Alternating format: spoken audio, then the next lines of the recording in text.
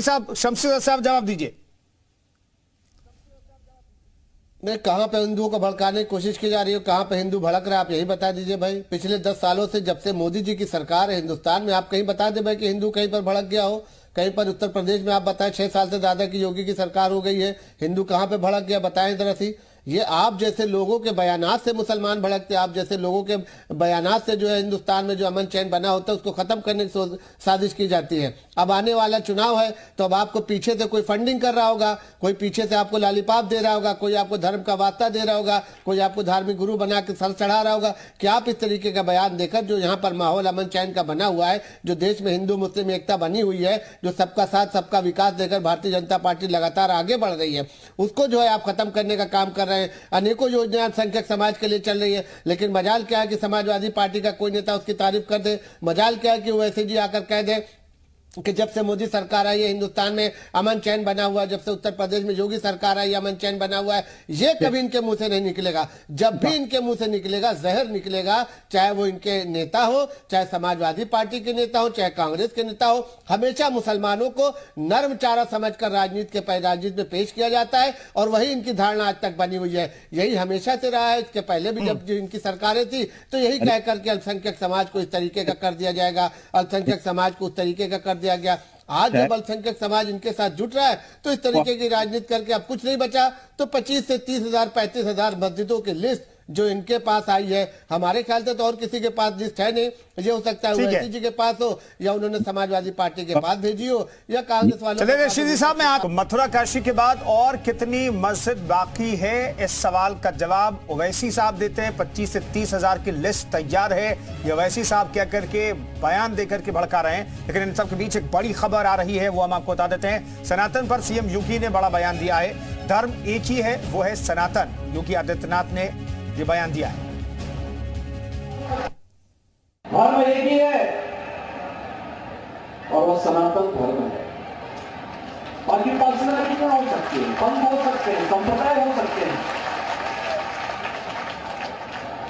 हर देश, हर काल, हर परिस्थिति में जो अपनी जीवंतता को बनाए रखा है, बिना डिगे बिना हटे, बिना झुके। वह बना रहा है। और इसीलिए दुनिया के अंदर बहुत कुछ आए, बहुत कुछ चले गए। बहुत सारे लोग आए, बहुत सारे लोग चले गए। लेकिन सनातन धर्म अपनी इस अनवरत यात्रा को सम और विषम परिस्थितियों का सामना करते हुए निरंतर बनाए हुए है।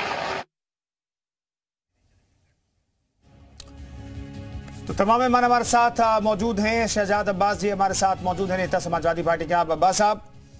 इस तरह की बयानबाजी जो है, ठीक है, आप ओवैसी साहब के बयान को आप दरकिनार कर रहे हैं, लेकिन इसी तरह के बयानबाजी आपकी पार्टी के अंदर आपके सांसद, आपके विधायक करते हैं। राम मंदिर को लेकर के वो इस तरह से बयानबाजी करते हैं। आखिर उन्हें समाजवादी पार्टी क्यों नहीं समझा पाई अभी तक? जो भारतीय जनता पार्टी के हमारे मित्र बोल रहे थे कि इतने काम किए जा रहे हैं, भारतीय जनता पार्टी की सरकार में अल्पसंख्यकों के लिए काम किए जा रहे हैं। सवाल ये है कि अगर इतने काम किए जा रहे हैं तो वो नज़र क्यों नहीं आ रहे हैं? वो विकास नज़र क्यों नहीं आ रहा है? हमारी समझ में ये नहीं आ रहा है। किसान परेशान है, टूटी सड़कें हैं, बिजली की व्यवस्था एकदम बुरी तरीके चरमरा चुकी है, स्वास्थ्य व्यवस्था पूरी तरह चरमरा चुकी है। आप बताइए कि पूरे देश के अंदर हाहाकार मचाए, महँगाई की वजह से, बेरोजगारी की वजह से, उस पर क्यों नहीं चर्चा की जाती है, जो बहुत महत्वपूर्ण विषय है। मैंने आपसे कहा कि हम सबको जवाबदेही है, जनता की, लोकतंत्र के अंदर हम सबकी जवाबदेही है। तो सवाल यह है कि भारतीय जनता पार्टी हो या वैसी हो, ये क्यों हिंदू और मुसलमानों को आपस में लड़वाने का काम करें, या उनको इसी के अंदर उलझाने का काम कर रहे हैं? आप बताइए कि रोज़गार कितना दिया है? भारतीय जनता पार्टी के मित्र बैठे हैं वो बताएँ कि सड़कें कितनी आपने सही कर दी हैं। आप बताइए कि बिजली की व्यवस्था आपने कितनी की है। साठ परसेंट आबादी जो है अंचल आबादी हमारी साठ परसेंट। वो जो है वो ग्रामीण क्षेत्रों के अंदर है जहाँ पे महिलाएँ हैं रोज़गार है किसान परेशान है हाँ। शमशीर सुन लीजिए। अब संयम रख के बात को सुनना सीखिए। सत्ताईस रुपए प्रतिदिन किसान कमा रहा है, है इनको जो है भाजपा अरे बात सुन लीजिए। इनको मैं फिर कह रहा हूँ सत्ताईस रूपए प्रतिदिन किसान ये वो कमा रहा है। और भारतीय जनता पार्टी के अंदर दो पति सोलह सौ सोलह सौ करोड़ रुपए प्रतिदिन कमा रहे हैं। वो कैसे उद्योगपति होते चले जा रहे हैं? वो क्यों बढ़ते चले जा रहे हैं? और मिडिल क्लास हो या किसान हो वो नीचे आता चला जा रहा है। सवाल यह कि जो सड़कों का वादा किया था वो वादा क्यों नहीं पूरा किया गया है? मीडिया को उनसे अब्बास साहब शमशी जी को सुन लेते हैं। आपने अपनी बात रख ली। शमशी जी जवाब दे रहे हैं पीछे से बैकग्राउंड से। उन्हें स्क्रीन पर। लाइए और वो कुछ कहना चाह रहे हैं। शमशी साहब। कुंदन जी कुंदन जी असल में इन्होंने भाजपा विरोधी चश्मा लगा रखा है। इनको न प्रदेश की जो है सूरत हाल दिखाई देगी हमारे साथ गरीब जो है आज ऊपर उठता दिखाई देगा वो इनको नहीं दिखाई देगा। इनको जो प्रदेश में चमचमाती हुई सड़कें वो नहीं दिखाई देंगी इनको जो है देश का विकास नहीं दिखाई देगा इनको हर घर में जो पहले महिलाएँ दूर जाती थी पानी लेने के लिए उनके घर तक पानी पहुँच गया वो नहीं दिखाई देगा। इनको जो महिलाएँ शौचालय में बाहर जाती थी आज वो सुरक्षित है ज़्यादातर बलात्कार के केस रेप के केस तभी होते थे जब महिलाएँ घर से बाहर शौच के लिए जाती थी। तो आज प्रधानमंत्री ने वो भी दूर कर दिया है। आज पक्का आवाज़ दे दिया है, आयुष्मान योजना दे दिया है तो ये सारी चीज़ें इनको समाजवादी पार्टी को नहीं दिखाई देगी, क्योंकि इनके चेहरे पर, इनके चेहरे पर जो है भाजपा विरोधी चश्मा लगा हुआ है। सरकार कुछ भी कर ले, आज आप चाहे गाजियाबाद से गाजीपुर का सफ़र करते हैं तो मात्र चार घंटे में, पाँच घंटे में कर लेते हैं। चाहे आप इसका पूर्वांचल एक्सप्रेस वे की बात कर ले, और चाहे जो मेरठ एक्सप्रेस वे बना, चाहे ऐसे कई एक्सप्रेस वे बने हुए इनको वो नहीं दिखाई देगा, इनको आयुष्मान कार्ड नहीं दिखाई देगा, इनको जो है शौचालय बने, वो नहीं दिखाई देगा। राशन नहीं दिखाई देगा कन्या विद्याधन नहीं दिखाई देगा सुकन्या योजना नहीं दिखाई देगी विधवा पेंशन नहीं दिखाई देगी इनको ऐसा कोई काम नहीं दिखाई जाएगा जो भारतीय जनता पार्टी कर रही है। इनको ओवैसी का बयान ज़रूर दिखाई देगा। इनको जो है वर्ग का बयान ज़रूर दिखाई देगा। इनको स्वामी प्रसाद मौर्य का बयान ज़रूर दिखाई देगा क्योंकि उसी पर राजनीति कर रहे हैं और वही इनका चाल चरित्र है। समाजवादी पार्टी का चेहरा 2017 के बाद से सारी जनता के सामने आ गया है। ये बेनकाब हो चुके हैं। ये जो दावा करते थे कि अल्पसंख्यक समाज के रहनुमा हम है अल्पसंख्यक समाज पर हमारा हिस्सा है अल्पसंख्यक समाज हमारे दबाव में रहता है वो आज़म खान के साथ उन्होंने तिरिया क्षेत्र का खेल खेला वो पूरी तरीके से अल्पसंख्यक समाज ने देखा और आज समाजवादी पार्टी को सिरे से नकार दिया है ठीक है, है मुस्कुरा रहे हैं। जी, है? जूतों से स्वागत किया जा रहा है और ठीक है राजकमल जी कहिए कहिए जनता इंतज़ार कर क्या यहाँ पर ये जो चर्चा हो रही है क्या ये राजनीतिक चर्चा के लिए आपने आज बिठाना है? ये चर्चा जो हो रही है अब्बास साहब चाहते हैं कि भाई इन सब मसलों पर बातचीत ना करें सड़क बिजली पानी में मसला मसले पर बातचीत करें उसी का जवाब दे रहे हैं चल रहे हैं ये समाजवादी पार्टी के नेता उठा रहे हैं यहाँ पर चर्चा ज्ञान व्यापी बाबा विश्वनाथ के ऊपर हो रही है जो हमारे आस्था का केंद्र है। आपको पता है हमने वहाँ पे आज तक पूजा करी है हमारा आस्था है। हमारा दिल दिमाग उससे लगा हुआ है। ये जो कह रहे हैं ना क्या परेशानी है साहब? एएसआई की रिपोर्ट सार्वजनिक ना हो। अरे सत्य को सत्य होने दो सच का सच सामने आने दो। जो होगा हमें स्वीकार होगा। जो न्यायालय कहेगा वो मानेंगे। ये तो राजनीतिक चर्चा कर रहे हैं। ये तो वोट बैंक की चर्चा चर्चा करो। हमसे कृष्ण जन्मभूमि की करो।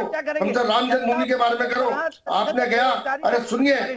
आपने क्या राम जन्मभूमि के लिए। आप तो उसे भी ये करो आस्था अरे, न्यायालय के इसका मतलब आप न्यायालय के आदेशों की अवहेलना कर रहे हैं।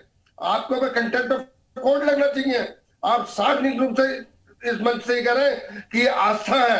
अरे, आस्था तो हमारी है, लेकिन हमारे निर्णय जो भी हुए वो हमने स्वीकार करे। आपको क्या परेशानी है? सारी रिपोर्ट सार्वजनिक करो। सच का सच सामने आ जाएगा, दूध का दूध, पानी का पानी हो जाएगा।